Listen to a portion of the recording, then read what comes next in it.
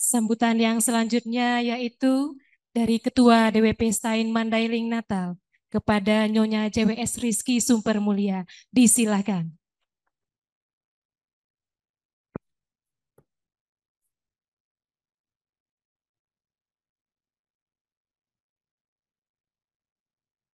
Bismillahirrohmanirrohim. Dari Mandailing Natal ke Padang Sidimpuan untuk mengikuti acara pembinaan. Salam takjim saya sampaikan. Mohon dijawab disertai senyuman. Assalamualaikum warahmatullahi wabarakatuh. Waalaikumsalam warahmatullahi wabarakatuh. Dan salam sejahtera untuk kita semua. Yang terhormat, Penasehat Dharma Wanita Persatuan Kementerian Agama Republik Indonesia Ibu Hajah Eni Retno Yakut. Yang saya hormati, Wakil Penasehat Dharma Wanita Persatuan Kementerian Agama Republik Indonesia, Ibu Hajah Tanti Kristiani Dasuki. Yang saya hormati, Ketua Dharma Wanita Persatuan Kementerian Agama Republik Indonesia, Ibu Hajah Hilda Aini Siva Ramdhani beserta jajarannya. Yang saya hormati, Rektor UIN Sahada Padang Sidimpuan, Rektor IAKN Tarutung, dan Ketua Stain Mandailing Natal. Yang saya hormati, Ketua DWP UIN Sahada Padang Sidimpuan, dan Ketua DWP IAKN Tarutung. Yang saya hormati, tamu, dan seluruh undangan. Serta yang saya sayangi dan saya banggakan, seluruh anggota Dharma Wanita Persatuan yang akan mengikuti pembinaan pada hari ini. Alhamdulillah, puji dan syukur mari senantiasa kita panjatkan kehadirat Allah Subhanahu wa taala, Tuhan yang Maha Esa atas limpahan rahmat dan berkah untuk kita semua. Seiring dengan itu, salawat serta salam untuk junjungan kita Rasulullah Muhammad Shallallahu Alaihi Wasallam bilafzi Allahumma sholli ala Sayyidina Muhammad wa ala ali Muhammad. Mudah-mudahan kita mendapatkan syafaat di yaumil akhir.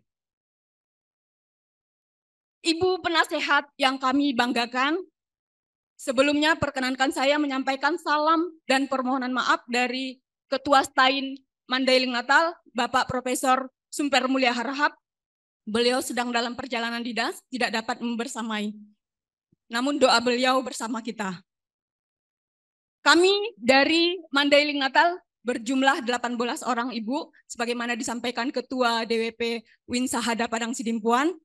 Kami bergabung karena kami khawatir terkendala jaringan karena jaringan internet di Mandailing Natal tidak stabil sebagaimana permohonan pembinaan yang kami ajukan Dharma Wanita Persatuan Stain Mandailing Natal masih sangat muda. Usianya baru dua tahun, Ibu.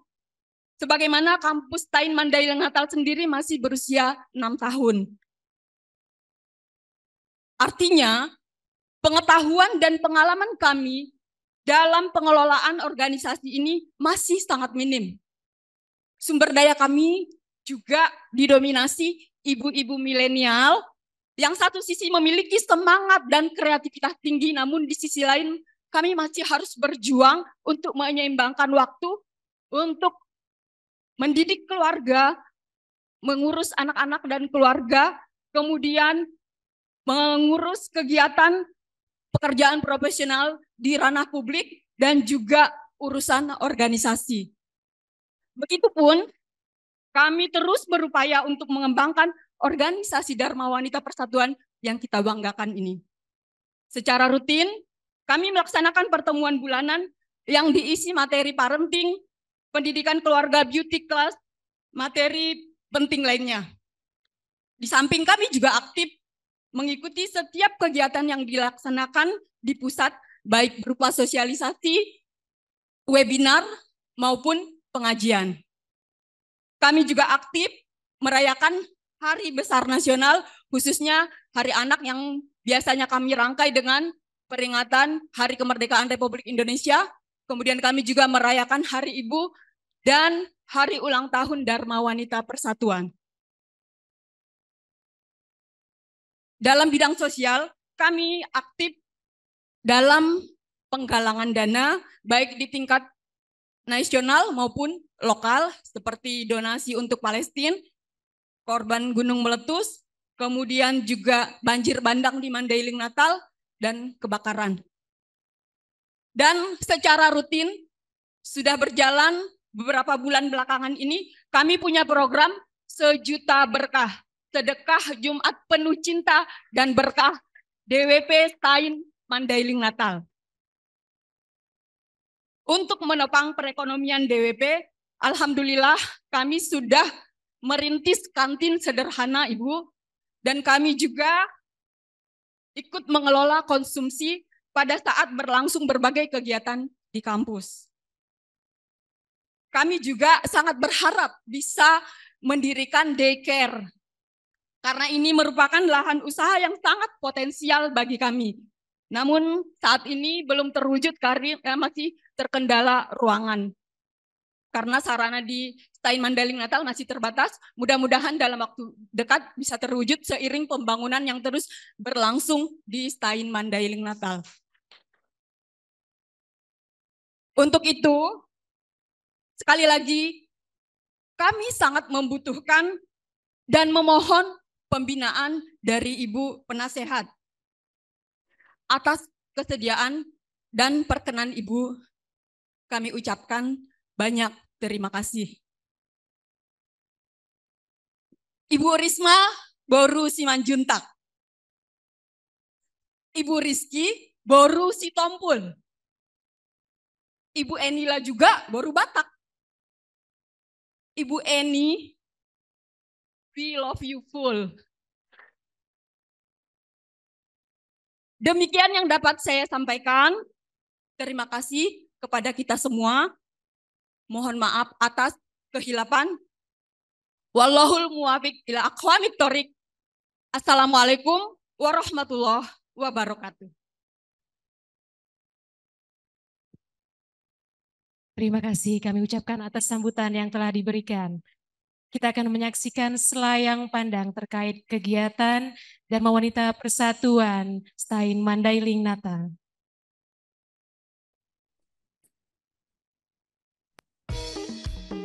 Horas Tondi Madingin, Pirtondi Matogu. Selamat datang di video profil Dharma Wanita Persatuan, Stein Mandailing Natal. Horas didirikan pada tanggal 14 Juni tahun 2022 DWP Stein Madina di bawah kepemimpinan Nyonya Juniwati Sri Rizky Sumper Mulia Harahap terus aktif dalam berbagai kegiatan sosial dan pendidikan. DWP Stein Madinah aktif mengikuti kegiatan DWP Kemenak Republik Indonesia, di antaranya kajian rutin bulanan, seminar dan sosialisasi tes IFA, perayaan nasional Harlah DWP, halal bihalal Kemenak RI, Rakernas DWP Kemenak RI, dan kegiatan lainnya. Adapun program DWP Stein Mandailing Natal di antaranya pertemuan bulanan, seminar yang menghadirkan para pakar seperti parenting, kajian fikih wanita, sosialisasi perlindungan perempuan dan anak, beauty class bersama mua, cooking time, kunjungan kelahiran dan takziah, program sejuta berkah, sedekah Jumat penuh cinta dan berkah, pengelolaan kantin DWP, dan berbagai kegiatan lainnya. DWP Stein Mandailing Natal juga menjalin kerjasama dengan berbagai lembaga untuk mendukung program-program sosial dan pengembangan komunitas. Dukungan DWP Stein Mandailing Natal tidak hanya terbatas pada anggota, tetapi juga berfokus pada masyarakat sekitar di antaranya dengan Dinas Kesehatan Kabupaten Mandailing Natal, pelaksanaan donor darah dengan Bayangkari Polres Mandailing Natal, dan lain sebagainya. Dengan semangat gotong royong dan kepedulian sosial, DWP Stain Mandailing Natal dalam berbagai kegiatan amal dan pelayanan masyarakat. Di antaranya, pembagian sembako dalam kegiatan bakti sosial DWP Stain Mandailing Natal, berkunjung ke rumah anak cinta buku Kabupaten Mandailing Natal, pembagian takjil setiap bulan Ramadan tadarus Al-Quran dan khatam, serta kajian islami oleh mubalik yang ada di Mandailing Natal. Bersama-sama, kita bisa menciptakan perubahan yang lebih baik.